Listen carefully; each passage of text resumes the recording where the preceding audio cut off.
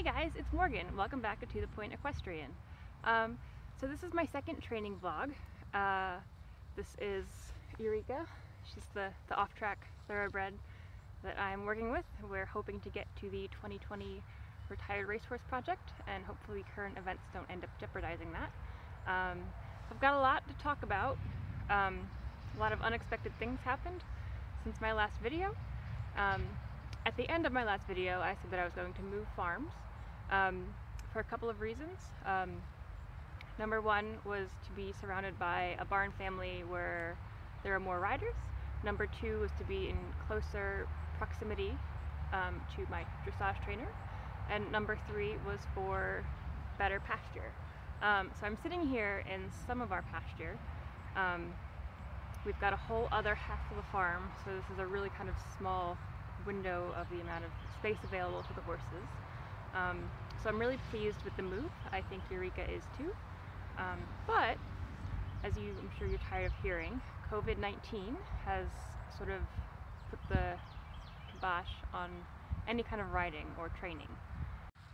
So I live in Maryland and um, a stay-at-home order has been issued and all non-essential businesses have been closed. Um, and riding facilities, we're kind of in a, a gray area. Um, so it's kind of agriculture, kind of recreation. Um, people were successfully able to make the case that exercise is part of essential care for horses. Um, but we're perfectly capable of exercising horses without riding them. Um, and riding horses is inherently dangerous. So there's a 0% chance that you can fall off your horse and end up getting hurt so badly you need to go to the hospital if you just don't ride.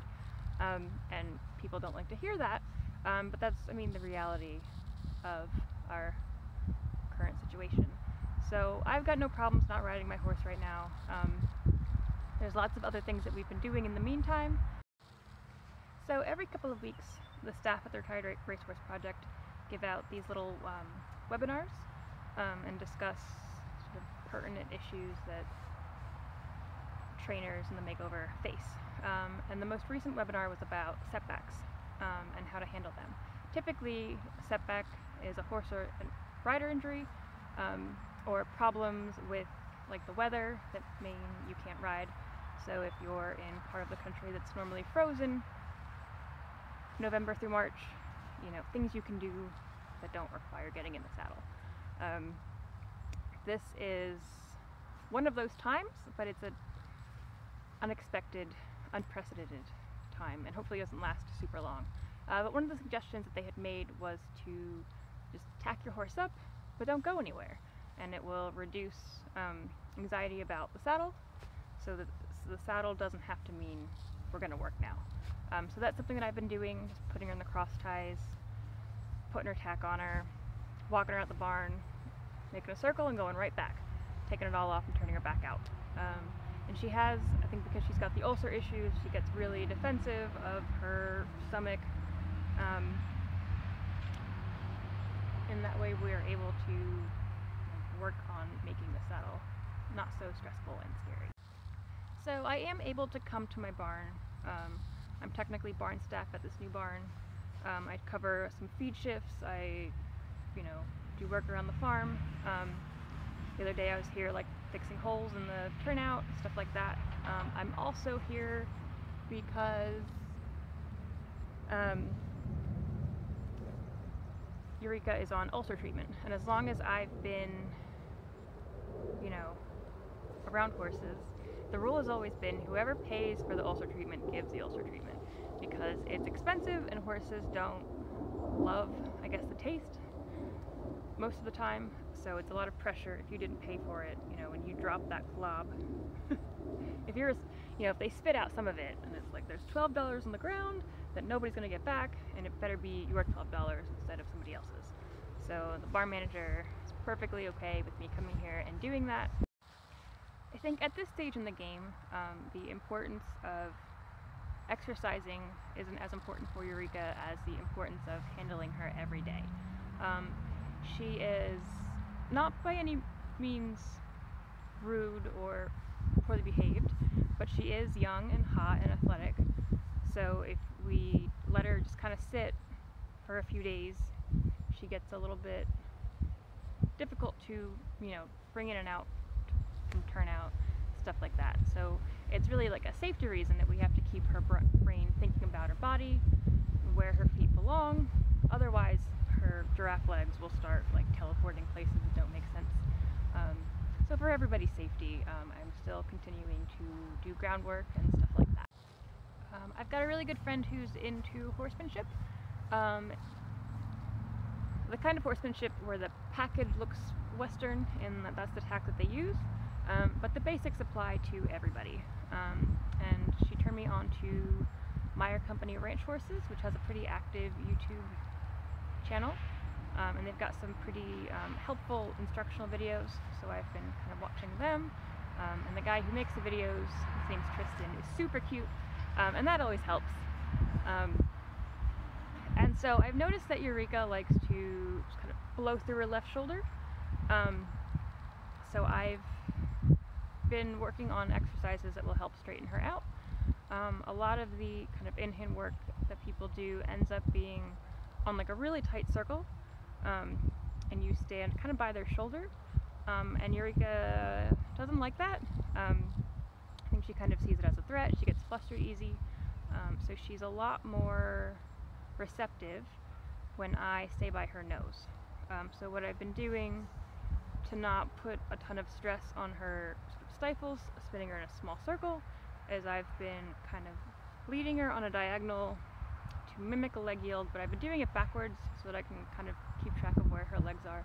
And I know you're not really supposed to ever lead a horse backwards, um, but in the interest of keeping things in chunks that are you know easy for her to digest and understand, um, this is where I'm starting. I do it in flat areas, I do it for short distances to kind of reduce the risk. Um, but right now, the priority for me is to make sure that everything I'm asking her isn't overwhelming her brain, you know? Um, she's very smart. I think she's an overthinker a little bit, a little bit like me.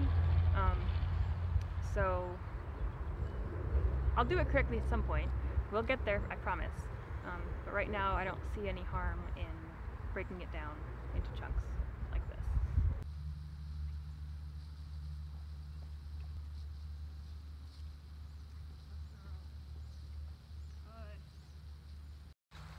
I also got her to back up over a pole.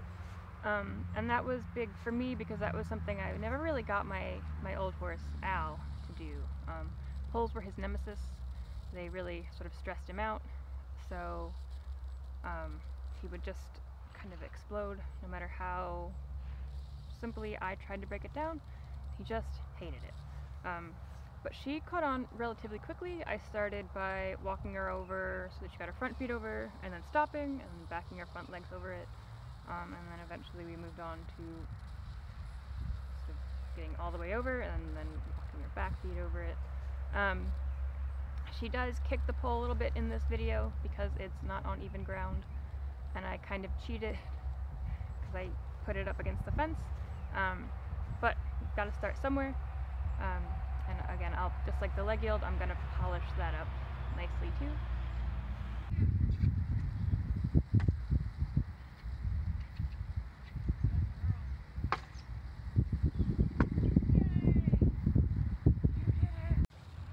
Another exercise that we're doing to teach her about, or to keep her thinking about where she's putting her feet, um, is it's like a pickup sticks type exercise. So where you take a bunch of poles and just kind of make a mess on the ground um, with no really rhyme or reason to it um, and then walk her through a bunch of different lines, some bending lines um, and then she has to think about where each foot is going.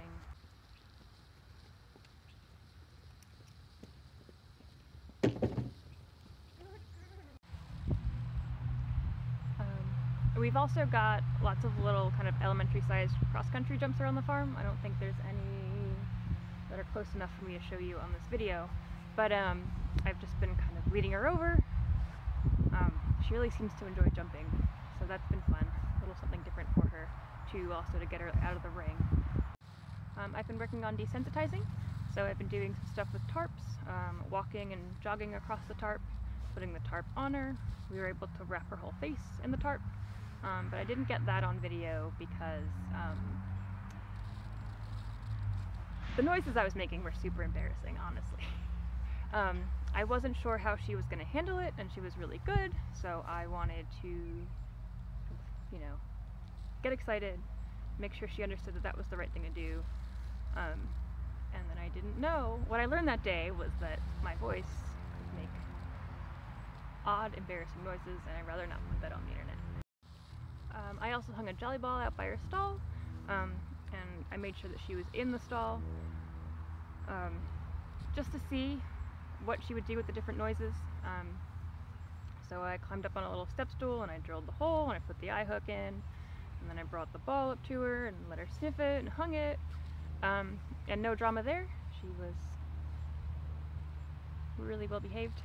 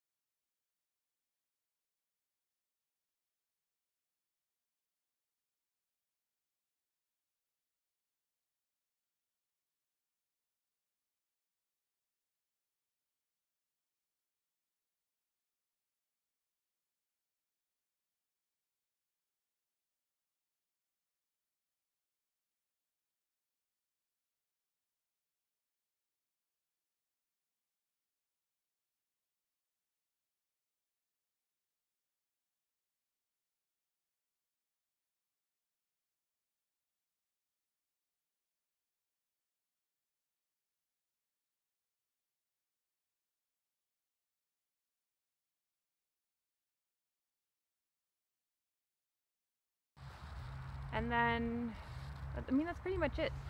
Um, it's hard to plan because I don't know how long this advisory against riding is going to last. Um, it could be done next week. It could last through July or August. Um, in which case, I think the freestyle class at the makeover might be the largest because people will have had eight weeks to ride their horse between, you know, that day and um, the beginning of October. So that'll be interesting actually to see what kind of implications all this will have on the on the makeover. Um, I'm gonna work on polishing things up, you know, like doing more correct in-hand work, um, backing over the pole without kicking it the first time, maybe backing over a couple of poles in a row.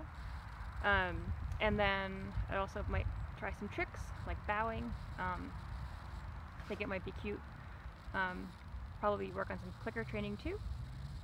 Um, so yeah, I'm gonna let you know how that goes. Hopefully we'll be riding by the time I post my next video, but if not, I've got lots of things that I'm gonna work on and uh, keep moving forward. Can't get too bogged down in the disappointment of not being able to ride. Um, and the good news is that we're all in this together. It's not like I'm just, you know, it's not like I'm sick and I can't ride my horse since the whole sort of country is shut down over this. But I think it's the right thing to do. Um, so I hope everybody stays safe and healthy, and I will see you in the next video. Thanks so much for watching. Bye now.